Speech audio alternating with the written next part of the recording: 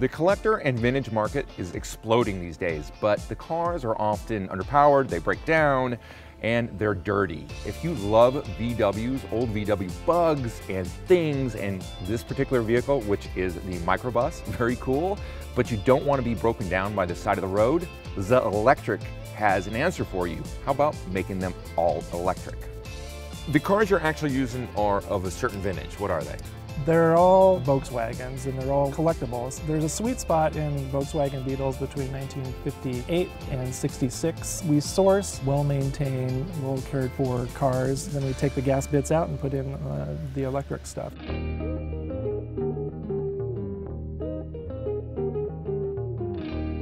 So we have doubled horsepower, right? All electric.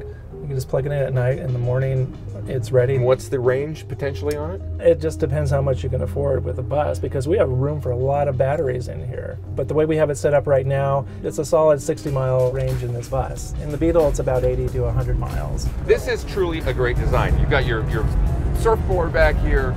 It's got a sunroof. This whole thing opens up. You, basically, every window pops out, or including the front windows, right? So, in a sense, it is the quintessential California machine. You started this company because you're a green fiend, right? You're mad about all things green? Really, it was to make the car more dependable. I grew up with these cars. I've had them for the last 30 years, and uh, every couple of months, something, you know, something breaks. Something physically falls off. Going electric, it makes them super dependable. And it's a lot of fun. You can shift if you want to, if you want to have more fun, or you can just leave it in third gear and cruise around like an automatic.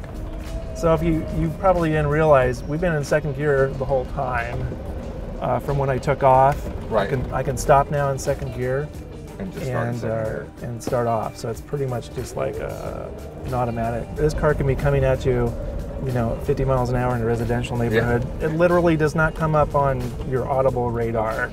I have never driven an all-electric Beetle. Come on, baby, come on, yeah! it's fast. Here's the thing that so many people don't realize about electric motors is you get 100% of torque on demand. So they're really, I mean, it may not be fast to 100, but to 30 or 35 miles an hour from off the line, Which they're really quick. You've actually made 1960s VW bugs fast and interesting. Yes, I know nobody believes me, but they go 100 miles an hour, no problem. Hi. Very close. This one's uh, 59. It's all electric. No, seriously, we have it's all electric. I'm gonna beat you off the line. Let's race. Bye. Woo! yeah, there we're up to almost 50 miles an hour. We totally blasted the Lexus.